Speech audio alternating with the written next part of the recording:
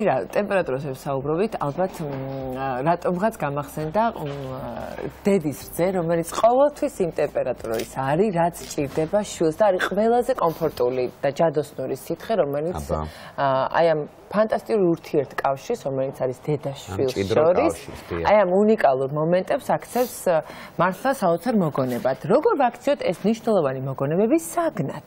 სწორედ ამაზე აქვს პასუხი ჩვენს სიუჟეტის გმირს ანას არიშვილს, რომელმაც ის აქცია არც მეტი არც ნაკლები სამკაულებად. ჩვენ ახლა ნინუცა როსტიაშვილის სიუჟეტის საშუალებით გვექნება შესაძლებლობა რომ გავიცნოთ ანა, დავაკვირდეთ იმ პროცესს, როგორ ხდება ეს და თუ კი შეიძლება სურვილი, თქვენ შეგიძლიათ ატაროთ ძალიან დიდხანს თქვენი ძე რომელთაც თქვენ საყვარელ შულს ყვებავთ და ეს მნიშვნელოვნად მოგონებად ატაროთ. ამჯერად ამ ცეცხლზე საკვები არ მომზადდება. ორი შვილის დედა ანასარიშვილი სამკაულის გაკეთებას აპირებს. აქსესუარის, რომელსაც დედის რძისგან დაამზადებს. პირველი ეტაპი ასეთია: ლაქტაციის პერიოდში მიღებული რძე ჯერ ორთქლზე შრება, შემდეგ კი ქიმიურად მუშავდება ჯანმრთელობისთვის უსაფრთხო არატოქსიკური ნივთიერებებით. ეს იმიტომ, რომ ქვა კარგად შეინახოს და სამკაული არასოდეს გაფუჭდეს. რძის გასაშრობად მომზადების პირველი ეტაპი დასრულდა, ეხლა ორი დღე დასჭირდება ამას, რომ ბოლომდე გაშრეს.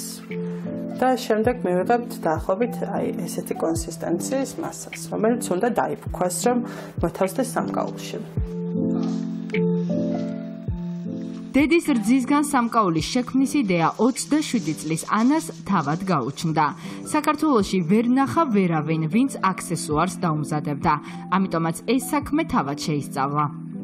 თვითონ ლაქტაციის პროცესი შეიძლება იყოს ძალიან დამღლელი, ზოგისთვის პირიქით ძალიან მარტივი არის და საერთოდ ვერ ხვდებიან რატო არის ესეთი ემოციური ეს დასრულების პროცესი და საერთოდ არანაირი მიჯაჭულობა არ აქვს ესეთი ნივთების მიმართ და ვართ ხალხი, ვისთვისაც ესეთი ნივთები ძალიან მნიშვნელოვანი არის და შეიძლება რომ არ გქონდეს არ შეგაწყვეს, მაგრამ რომ გაქვს სიამოვნებს და ძალიან გამეხარდება წლების მერე ბავშვები რო გაიზრდებიან, იმათაც თუ ენდომებათ, რომ თუნდაც თილისმა დატარონ ხოლმე.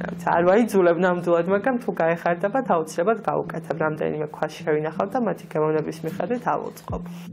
სამკავლებთან შეხება პირველად ბავშვობაში ჰქონდა. წლების წინ მივიწყებული გატაცება კი ახლა საქმიანობად აქცია. არც მომხმარებლის ნაკლებობას უჩივის. ანას ბევრი მსურველი გამოუჩნდა, რომლებსაც მასთან საკუთარი რძე იმისთვის მიაქვთ, რომ სამახსოვრო სამკაული დაუმზადოს, მაგრამ არსებობენ ისეთებიც, რომლებსაც მისი საქმიანობა აკვირვებთ.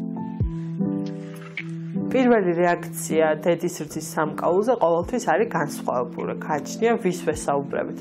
აი მე თვითონ საკუთარ თავზე რო წარმოვიდგე ხა 15-16 წლის ანას ჩემ თავს რომ ვიღაცამ უთხრას რომ აი დედის რძის ყელსაბამი მიკეთია, ალბათ მოკვდებოდი ხარხარით და ვერც დავიჯერებდი და არარეალური იქნებოდა ჩემთვის და ვერც მიზეს ვერ მივხვდებოდი, რატომ შეიძლება ვიღაცას მოუნდეს, რომ საკუთარი რძის სამკაული დაიკიდოს ან საკუთარ შვილს მისცეს, მაგრამ ახლა რაც მე თვითონ მყავს შვილები და ეს ლაქტაციის პროცესი სხვანაირად აღვიქვი, ძალიან სასიამოვნო არის ჩემთვის და ძალიან מחარებს რომ შემიძლია ესეთი სამყავრების გაკეთება ჩემთვისაც და სხვებისთვისაც.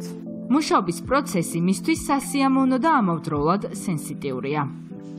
ეს არის აი დღის ბოლოს 8 საათიან სამუშაოს რომ მოვჩები ბავშვებს რომ ვაბანავებ, ჰაჭმავ დავაძინებ და ყველაფერი რომ დასრულდება სავალდებულო საქმიანობები, ეს არის უკვე ჩემი თავისთვის სასიამოვნო და სხვა დედებისთვის საამებების საქმე. 27 წლის ანა გაჩერებას არაპირებს. ნებისმიერ ქალს, ვინც ახლა ლაქტაციის პერიოდს გადის, აქვს შესაძლებლობა დაიმზადოს დედის რძისგან გაკეთებული სამკაული. ეს პროცესი ხომ ბევრისთვის დადებითად გასახსენებელია. ეს აქსესუარები კი სამუდამოდ შეინახავს დედობით გამოწვეულ ბედნიერ წუთებს.